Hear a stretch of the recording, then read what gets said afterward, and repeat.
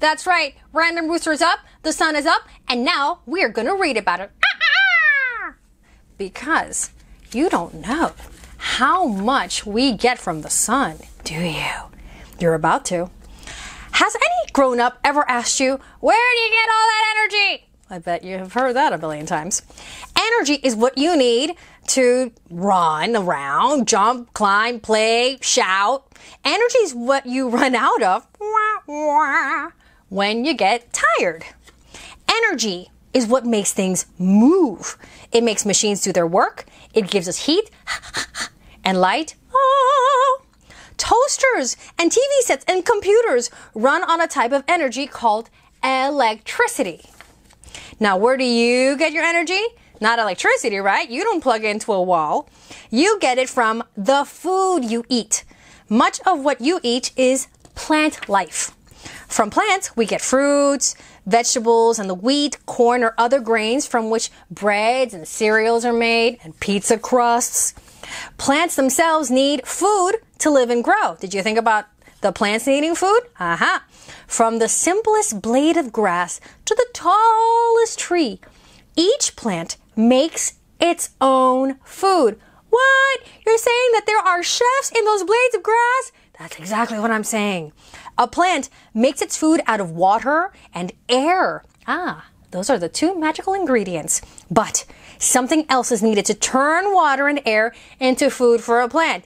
Is that where the chef comes in for the grass? Maybe so. What is needed is energy. This energy comes from oh, the sun. It is in every beam of sunlight that shines down on Earth. And without the sun's energy, plants could not grow. And you would have nothing to eat. What? But what about meat, milk, eggs, and fish? Don't those come from animals? Well, yes, they do. They come from animals that eat the plant life. Think of the cows grazing on grass. So everything depends on the sun growing the grass, the grass feeding the cows, the cows feeding you. The sun's energy works inside a plant to make food for the plant. And as this happens, the plant releases a little bit of gas called oxygen in the air. Most of the oxygen in the air around us comes from plants in this way. If there were no oxygen in the air, we couldn't breathe.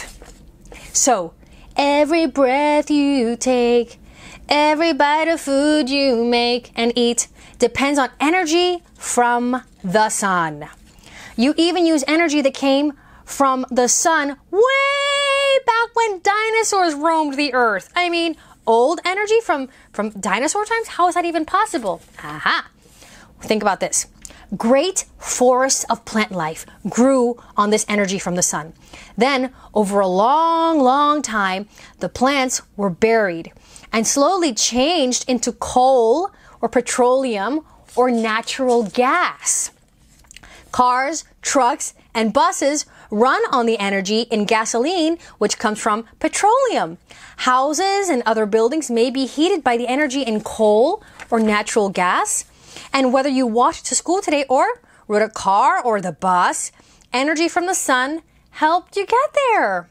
Where do you get all that energy? From the sun. No wonder you have so much of it. And now you know how to answer them when they ask you where you get all your energy. And here we go. Just a few things that benefit from the sun the grain and the cows and the plant life and the milk. So many things, all having to do with the sun. And now you know a little bit more about that big superstar up in the sky. And Random Rooster, big fan of the sun, especially early mornings. Well, he's gone, so so am I. See you next time, kid, on Kid Time Story Time. Subscribe.